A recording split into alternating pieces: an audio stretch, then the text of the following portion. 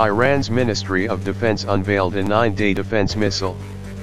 This defense missile will be installed in the form of eight canisters on the Sevim Khordad system.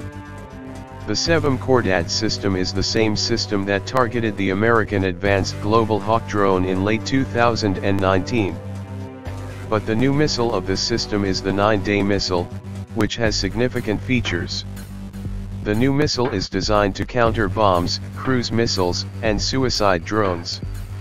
Given that the main threat today is the attack with a large number of drones and cruise missiles.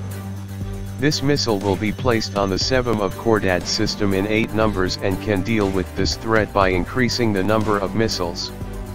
The specifications of this missile are such that its length is 4 meters and it weighs 250 kilograms and has a range of 30 kilometers.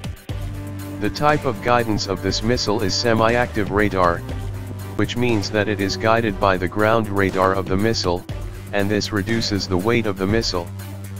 Probably, like the previous Sevim Khordad missile called Tayyar, which is the Iranian example of Russia's Buk missile, this missile will also become an optical type.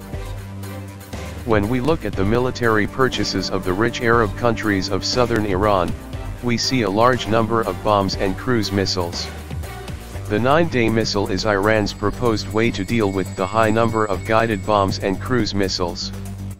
Iran also unveiled a new radar for the Sevim of Khordad system, which is called Quds.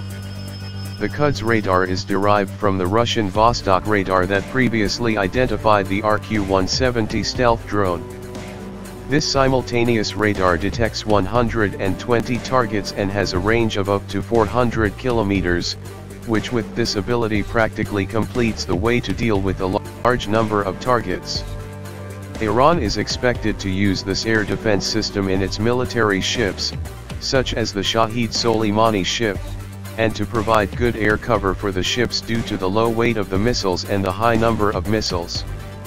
The important point of all these systems and the new radar is that they are all mobile, which makes it difficult to identify and target, and it is also stated that this radar reaches the operating conditions in only 6 minutes.